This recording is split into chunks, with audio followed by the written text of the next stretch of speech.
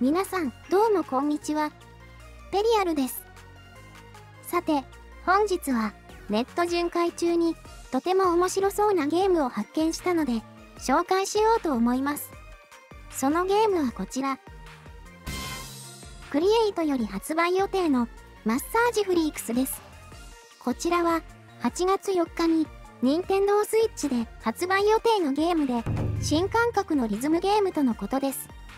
内容としては、マッサージ店に来店するお客様の体と共に、心の悩みも一緒に解決していくという、非常に健全でかつ紳士的なゲームとなっているようです。マッサージ部分がリズムゲームとなっているようで、こちらは、まだ PV 等の動画が公開されていないので、詳細は不明ですが、画面を見た感じとても楽しそうです。説明によると、スコアが一定以上になると、なんだかとってもリラックスモード、通称 NTR モードに突入するとのことです。詳細はよくわかりませんが、本作は任天堂 switch 向けということですので、全国の親御さんも安心の内容になっていること間違いなしです。また、キャラクターの好感度がアップすると、店外デートなどのイベントもあるようで、リズムゲームとしてだけでなく、恋愛ゲームとしても楽しめそうです。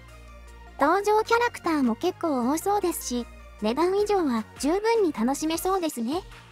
気になる方は、公式ホームページに行けば、もっと色々なサンプルを見れますので、ぜひチェックしてみてくださいね。ちなみに、今月末は、ゼノブレイド3の発売日です。私はゼノブレイド信者なので、こちらもプレイしなければいけません。今年の夏は、アニメも暑いですが、ゲームも暑いですね。